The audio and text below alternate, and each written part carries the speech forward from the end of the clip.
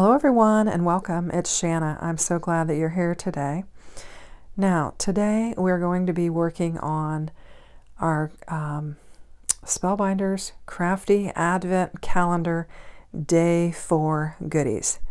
Now, these goodies are, um, I think there are, let's see, there's eight dies, and it says from me and to you and it has both the phrase die and then the, the coordinating shadow die that goes with it.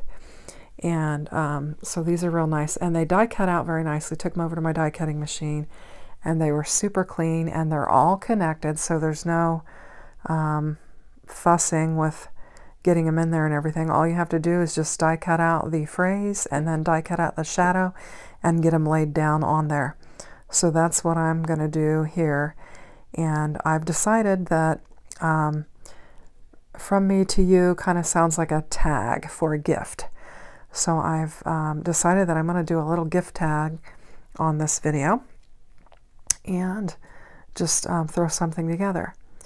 So I'm also going to, I thought it'd be fun to also bring in the previous die set that came with the Crafty Advent Calendar.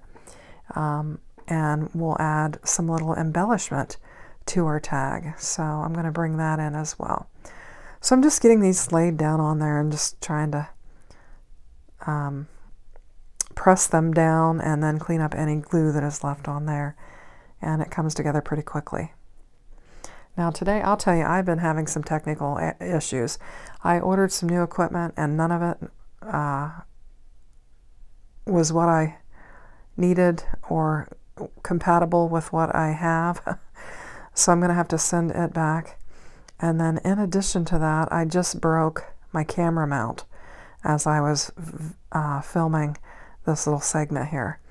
So um, I'm just having some real technical issues. So I'm going to have to work through that and um, see what I can come up with for a solution. So I'm going to get my little U laid down on here and then we'll bring in our tag elements and should make a pretty fast card out of this. So I'm just going to push those out of the way and get my, my, little sentiments out of the way and then just start bringing in my pattern paper um, and my tie, uh, my tag. So I took this um, Spellbinders, I think it's called Stormy Sky paper, and I used the little um, edge to trim out both the stormy sky and then this pattern paper. And this is coming from a uh, pattern paper set that I've been using the last few days from the Paper Studio. It's called Vintage Amour. And I've not been able to find it to link it up exactly, but I have been linking something similar um, in my description box. So I'm just getting that laid down on there. And then I also had this strip of, it was actually um, laying in my trash from a card that I had done before. And I thought I could just lay that on here and just snip it off and it would just make another little layer of that scalloped edge and I thought that'd be cute. So I had um, just dug that right out of my trash. Uh, my trash was fairly clean because I had emptied it the other day and so I could easily see this piece laying in there. And I noticed it when I was when I was um, weeding um, the big die there, the scallop die for the pink there. And I thought, I'm just going to pull that brown right into this. So I'm just going to lay just a little bit of glue down on here and try and line this up. And this will add just a little decorative feature to our tag. This is a very simple project, but I just wanted to show, I guess, a way that you could use um, both die sets together and come up with a cute little tag. Whoops. I kind of spun it around my glue nozzle there. Um, so I'm just going to press it down. Now I could have put a shadow backing on this as well, um, but I opted not to do that and just to let the pattern paper poke through there. And I'm just going to lift it up and, and um, snip it off.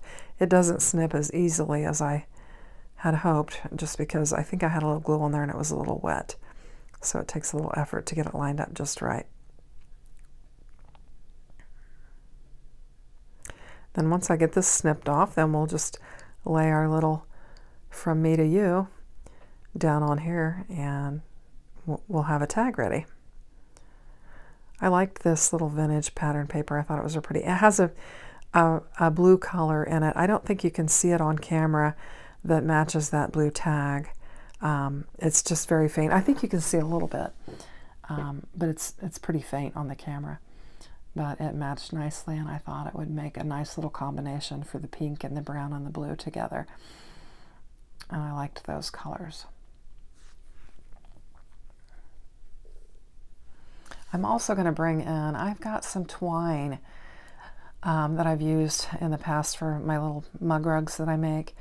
And I thought I would just bring in a piece of it because I needed something kind of um, crafty or brownish looking, and that's what I had on hand.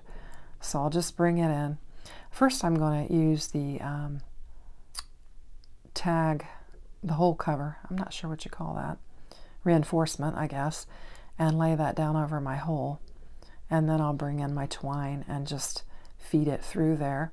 And that'll finish off our tag. I think this was pretty fun. I am late. I've been um, dropping my Crafty Advent calendar videos at 5 o'clock, but it's already quarter after 5, and I'm just now doing the voiceover for this. So this is going to be a little bit later than they have been running all week, but um, better late than never. So I'm just going to snip, kind of clean those edges off a little bit. And then that'll pretty much finish up my tag. So I hope you like it. I hope it gave you an idea of something that you could do with the From Me to You and how you could use the two different die sets together. So if you like it, consider giving me a thumbs up. Thanks for watching. Have a great day. Take care. Bye-bye now.